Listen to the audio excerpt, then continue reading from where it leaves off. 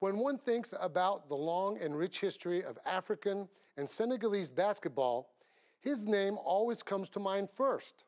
A hardworking guard from Dakar, he ensured his name would never be forgotten as he was a leading player on the Lions team that won the FIBA Afrobasket in both 1978 and 1980. But that was not all.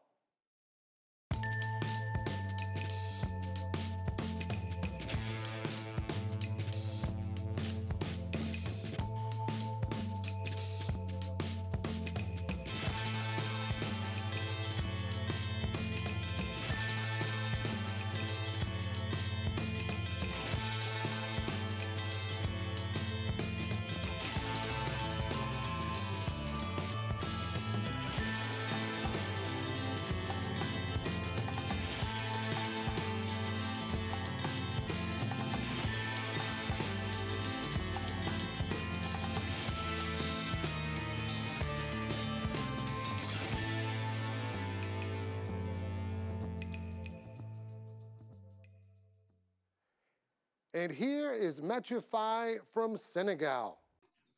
Thank you. Mr.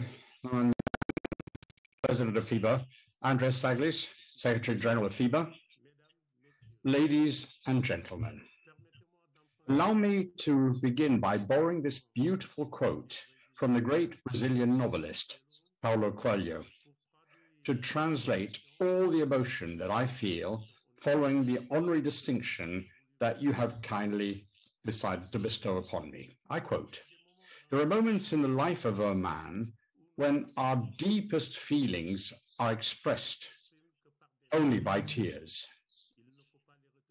They shouldn't be held back as they come from the heart and not from pride. End of quote. Yes, the emotion is so great that this distinction not only comes at a time when it was least expected, but also because the small circle of those inducted into the FIBA Hall of Fame is populated by a tiny number of big names in world basketball, whether they are leaders, officials, or players. However, distinction, although immense, is received with great humility, especially since basketball is a collective discipline and our individual performances depend on the immeasurable contribution of our teammates. It is also my duty to pay a great tribute to some of the leaders of our sport. It is thanks to their coaching and the precious advice they shared with both the elite players as well as those who are still starting out that I can stand here before you with pride at this great moment of world basketball. I'd like to mention some like Mamadou Sow, who guided my first uh, players at the Jeanne d'Arc of Dakar, and the illustrious and sorely missed Ousnel Diagne, Bonaventure Carvalho, Alioune Diop, Claude Constantino, and Larry Diouf. It would be amiss of me if I didn't pay tribute to my teammates. Madia Adidas too, the only player with whom we achieved the feat of never having lost a single official match in Africa, but also my former teammates. Let me mention Joseph Lopez, Serigne Pouye Faye, Emi Toupane, Papa Moussa Touré, Ambroise Dog, Badiane Diagne, and Abdou Ndiaye, to name but a few of the players at the African level. These tributes also go to my teammates of uh, Limoges, amongst others, Richard Dacoury, Apollo Faye, Edouard Murphy, and the coach, the late Andre Buffière, with whom we won a French championship the French Cup, and European Cup, the Korać Cup.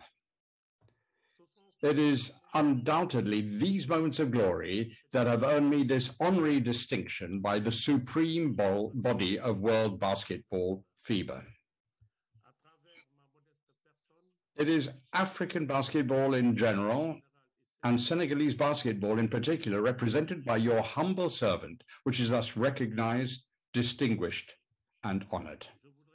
I'd also like uh, to share the recognition I'm about to receive with some of the basketball greats of the time, including Abdoulaye Seye Moreau, former president of FIBA, one of my pre- predecessors in the FIBA Hall of Fame, but also with the state of Senegal and all the ministers of sport and all the leaders who succeeded one another at the head of the Senegalese Federation of Basketball. Finally, I'd like to round off my uh, talk by expressing my sincere thanks to you today. This high distinction confirms me in my conviction that I have chosen the right path and gives me even more courage to continue down the road that lies ahead, both in my professional and personal life. Once again, many thanks to FIBA.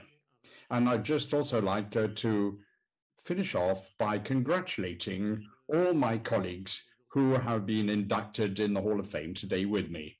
Thank you very much. Thank you once again.